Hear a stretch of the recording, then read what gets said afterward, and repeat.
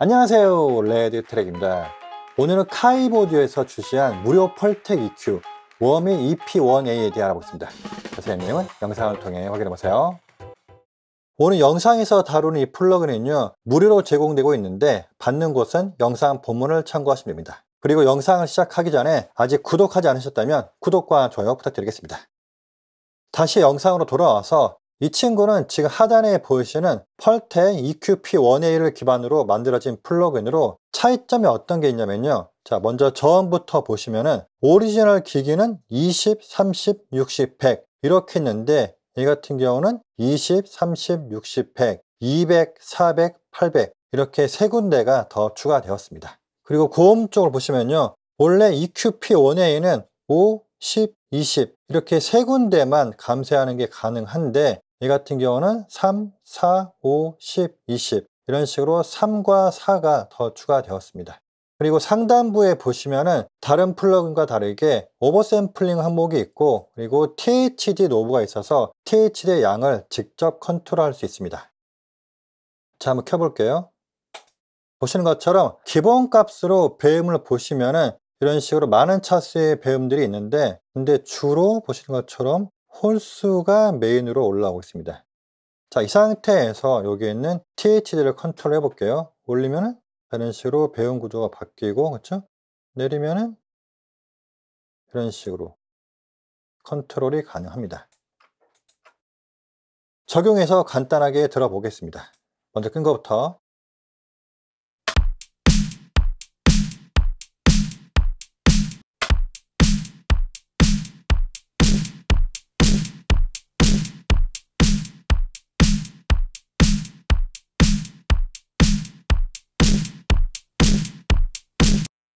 그리고 오른쪽에 보시면은 튜브가 있는데 얘를 클릭하시면은 이렇게 두 가지를 바꿀 수가 있어요. 자, 얘도 마찬가지로 기본 값으로 이 친구일 때는 배운 구조가 이렇게 되어 있던 건데 바꿔볼게요. 바뀌죠? 이런 식으로 배운 구조가 바뀌고 있습니다. 간단하게 소리를 들어보겠습니다.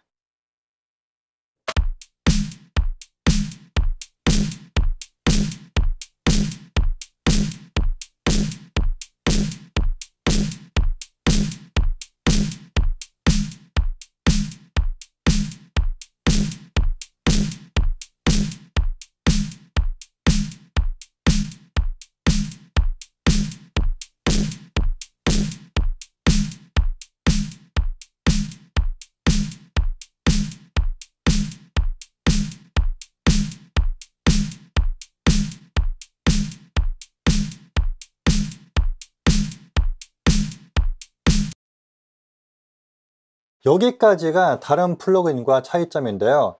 Pultec EQ를 처음 쓰시는 분들을 위해서 간단하게 사용 방법을 소개해 드리겠습니다.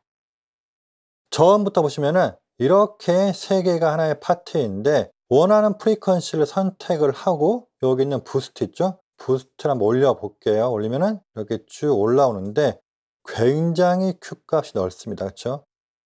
자, 그런 다음에 여기 있는 cut을 이용하면은 boost된 양이 줄어들면서 그와 동시에 앞쪽에 파이는 방식으로 작동됩니다. 한번 해볼게요. 그렇죠? 이렇게 지금 이쪽이 이렇게 파이고 있습니다. 그래서 보통 이 친구를 사용할 때는요. boost를 하고 여기 있는 cut을 이용을 해서 정리하는 방식으로 사용하는 편입니다.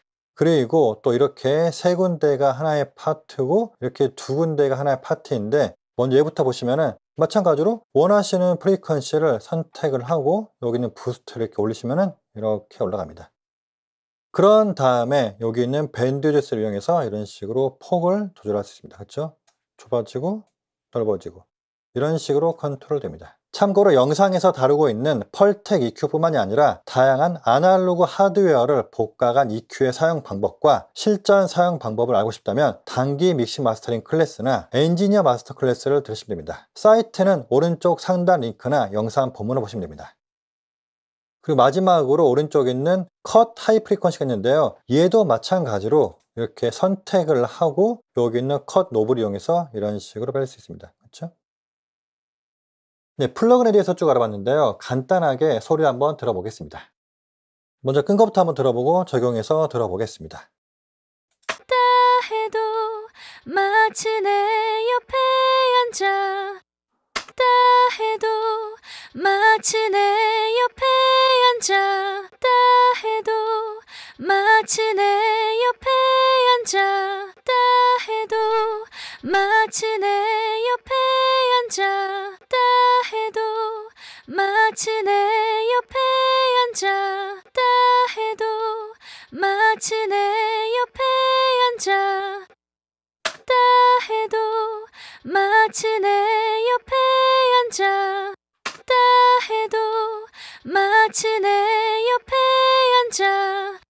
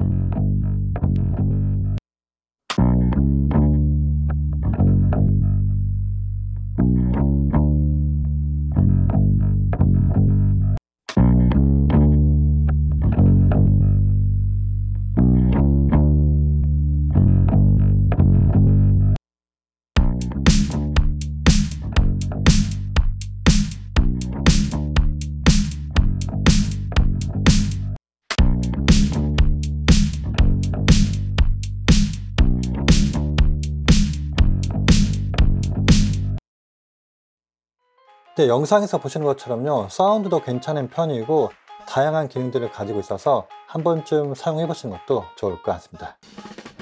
자 그럼 다음 시간에 또 새로운 내용과 함께 찾아오겠습니다